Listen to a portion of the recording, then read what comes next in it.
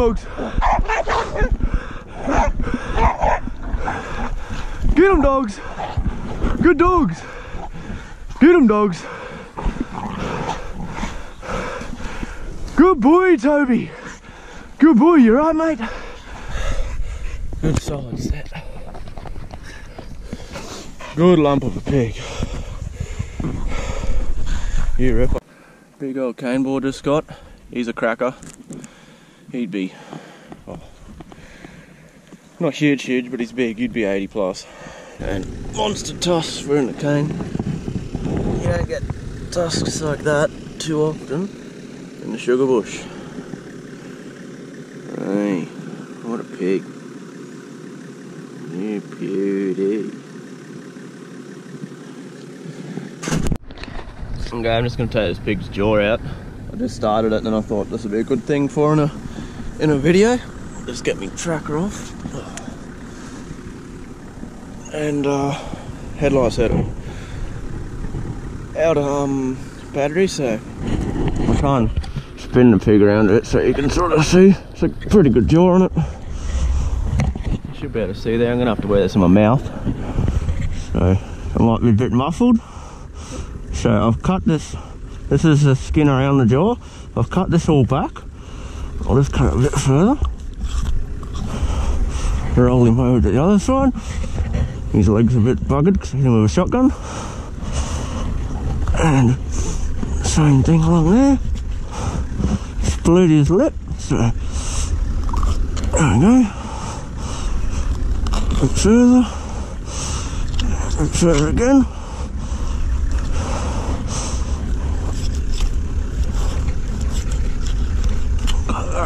Around there. Okay, now it's nice sort of solid back edge. Otherwise, you can take the whole head, or you can go in and around off here, pull the jaw out. But I only want this at the end. So what I'm going to do is just make sure as far as I can get it. Then he's the knife.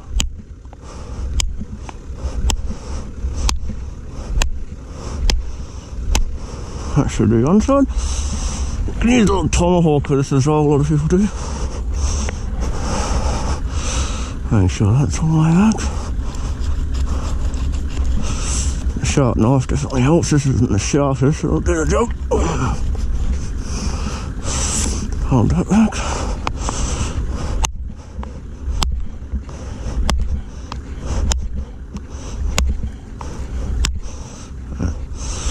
I think she's starting to go now. There uh, we go.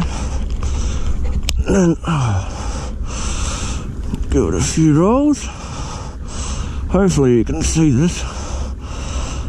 Because I only have the car going there give me light. So once I get a figure I can actually just drive to. And there you go. Pretty good set of tusks.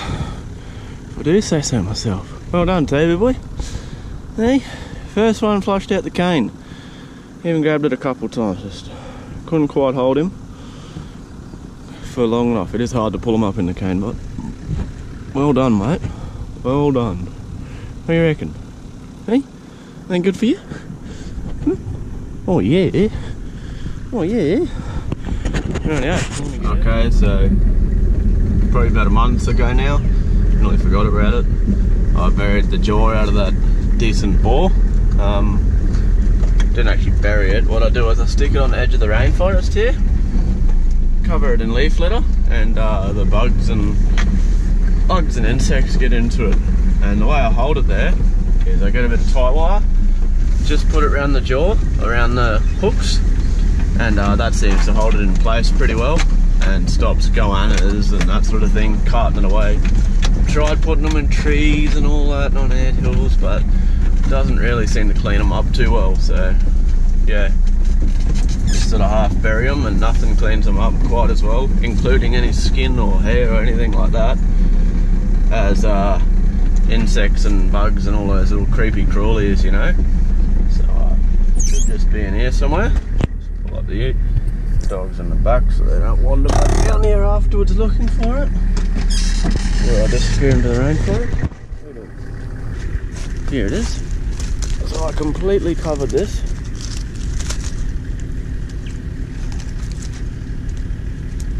In uh, leaf litter. And uh, oh no, this might be a deer. I don't know, I've got a couple here. Yep, so still a little bit of that skin there. Can just peel that off. And uh, yeah, it should come up like this pair. So here's those two sets of teeth. This one's been down there for who knows how long. It's a pretty good set. And this one's a set out of the uh, pig that I snapped off. So you can see, done a little bit of damage to the back of it there.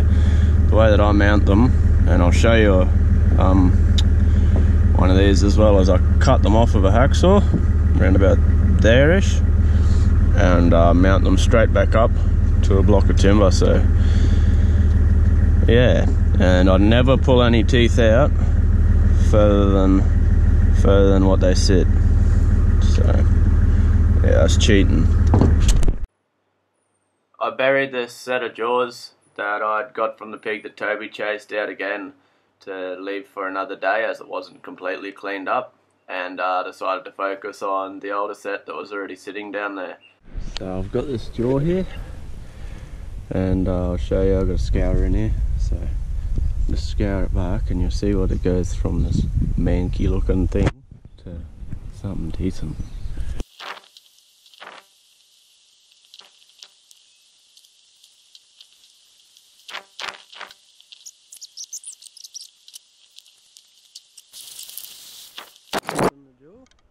After scouring the jaw back a bit to clean it up, I leave the jaw in a bucket, adding about half a cup of bleach, and uh, come back the next day. This is to remove any mould or um, greeny brown tinge to the bone.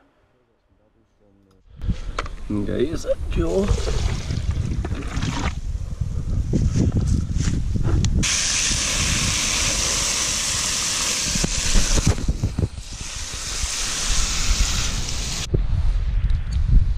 just stuck the teeth back in. And there you go. Nice.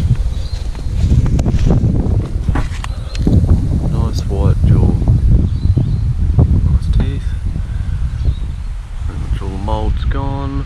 It's not green. And yeah it looks the part ready to be cut down maybe through there and mounted on a bit of timber. Before you mount it on anything just make sure you get the tusks and let's pull this one out inside them in there. Just fill them up with silicone or Sikaflex or even probably liquid nails would probably do. Anything like that just to stop them cracking.